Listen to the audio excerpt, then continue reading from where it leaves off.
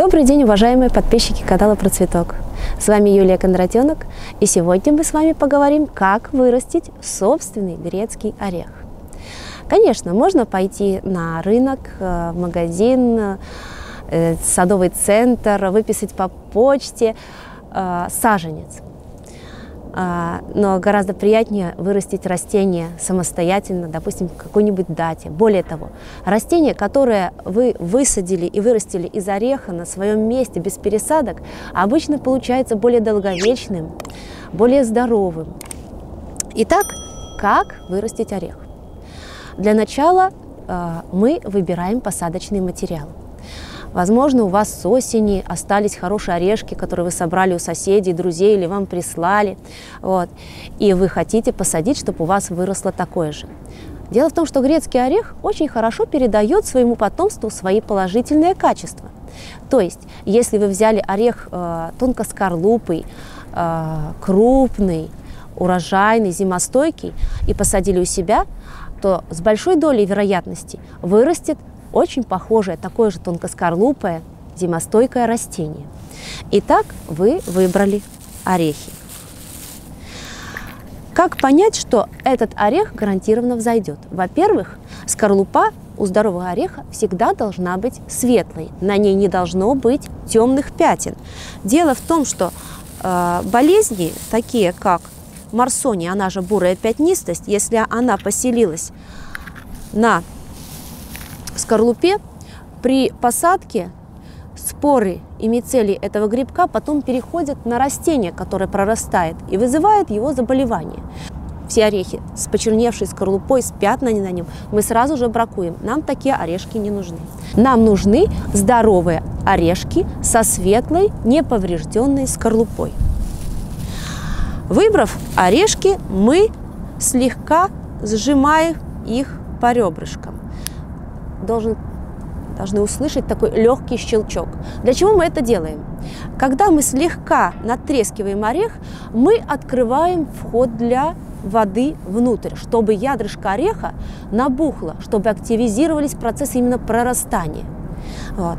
Более того, если вы сжали орешек, и он у вас легко натреснулся, именно легко, это признак того, что орех уже сам по себе тонко скорлупый, что он и потомство в дальнейшем даст такой же тонкоскорлупой. Вот. Для посадки непригодные орехи деформированы. И непригодные орехи с грубой толстой скорлупой, с такими выраженными ребрышками. Это первый признак того, что орех будет с толстой скорлупой, и его будет очень сложно раздавить. Вот видите, здесь, например, такие вот ребра выступающие. И вот его вот его, раз, его надщелкнуть практически невозможно. Такой мы орешек тоже бракуем. Итак, вот мы выбрали хорошие светло окрашенные орешки. Следующий этап. Их нужно замочить. Но замочить их нужно не просто в теплой водичке, а желательно с добавлением какого-нибудь дезинфицирующего средства. Фундазол или в нашем случае марганцовка, которую можно купить в аптеке. Мы готовим раствор марганцовки темно-розового цвета. Это нужно для того, чтобы убить споры грибков, которые так или иначе все равно присутствуют на поверхности скорлупы ореха и продезинфицировать ее. Готовим раствор марганцовки розового цвета. Он не должен быть бледно-розовым или темно, почти черно-розовым. Достаточно просто классического розового цвета марганцовочки. Помещаем наши орешки в марлевый мешочек перед замачиванием.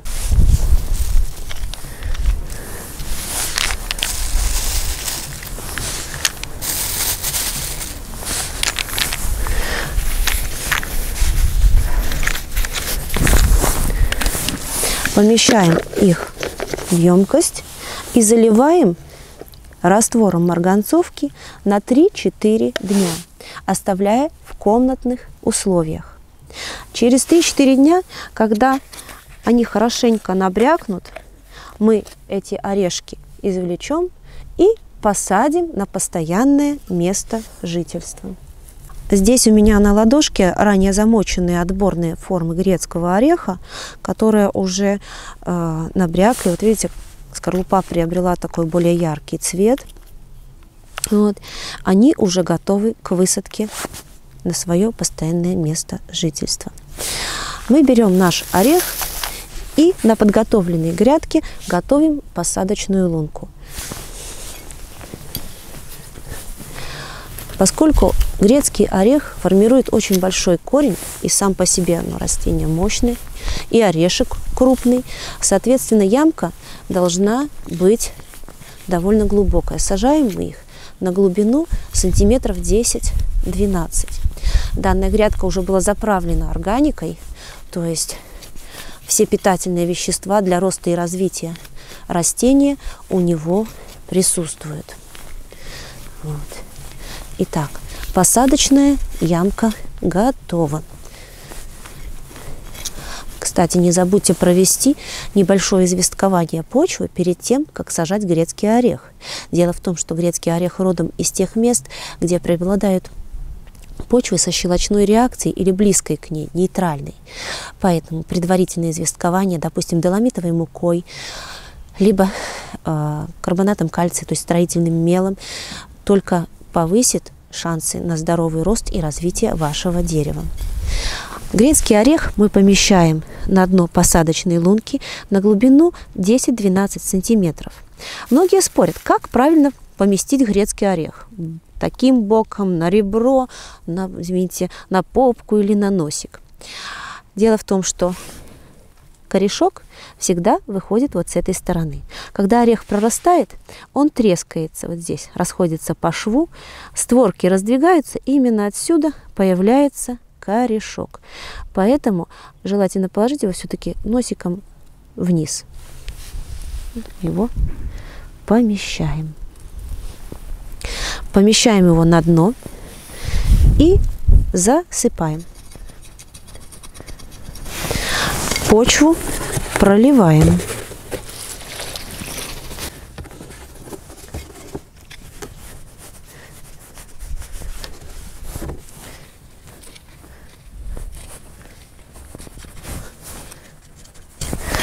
И обязательно ставим метку. Дело в том, что у орехов есть особенность. Даже если вы подготовили орешки к посадке по всем правилам, они могут зайти не в первый год, а на второй, а иногда даже на третий. Такой приспособительный механизм у грецкого ореха. Если первый год неблагоприятный, допустим, очень сильные стояли морозы, возвратные заморозки появились, и ростки погибли, те, которые взошли в первый год, какая-то часть орехов зайдет на второй, на третий, и вид не погибнет. Вот. Хотя какое-то растение прорастет. Итак, мы посадили грецкий орех. Мы пометили это место, и теперь нам остается только поливать и ждать прорастания. В первый год орех дает очень маленький росток, буквально сантиметров 7-8, максимум 10. Первый год для грецкого ореха – это период формирования корневой системы. Она у него очень мощная и очень рыхлая, кстати. И у него есть проблема при пересадке – корень часто травмируется. А из-за того, что корень имеет очень рыхлые ткани, то травмы для него обычно кончаются плохо. Начинается загнивание, и если вовремя не заметить ранку на корне, не продезинфицировать ее тем же самым фундазолом или толченым углем, то может начаться некроз, отмирание, и растение будет э, сокращать свой рост, развитие будет страдать, пока восстановит корневую систему. Поэтому беспересадочный способ получения собственных грецких орехов, ну, это лучший способ получить здоровое растение. Итак, мы посадили, полили, пометили и теперь ждем прорастания. На этом у меня все. Подписывайтесь на наш канал про цветок и до новых встреч. С вами была Юлия Кондратенок. thank you